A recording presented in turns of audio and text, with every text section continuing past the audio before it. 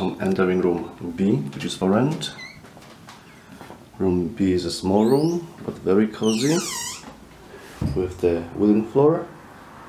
Here we have a small desk and a chair. Here's the mirror. We have double bed. Here we have a big window, so plenty of lights comes in, as you can see. It's a really bright room. And here on the side we have built-in wardrobe. So you can store all your clothes here. some shelves as well and above as well. So that's the wardrobe.